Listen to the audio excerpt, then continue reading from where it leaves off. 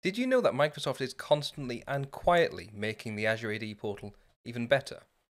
It's true, aside from renaming the products and portals every so often, the Azure AD portal is actually gradually becoming a more user friendly and helpful place to work.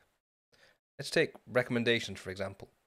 We all know that the secure score will list the 400 things you're not doing yet in your environment, and it'll tell you how much more secure you'd be if you were to make that change. And while the secure score is great, it can be a bit much. I mean, yeah, work through through all those items on the list and be as good as you can be from a security standpoint. But sometimes it can be nice to have some personalized recommendations. From the overview page on the Azure AD portal, you might have noticed the recommendations tab appear next to tutorials. Well, in there, you can see personalized and curated recommendations. Not many mind, I, I did have to scout through 10 tenants to find one that had some recommendations, but they're building them over time, and when you do find them, they're specific and actionable. Think of this as your personal Azure AD advisor.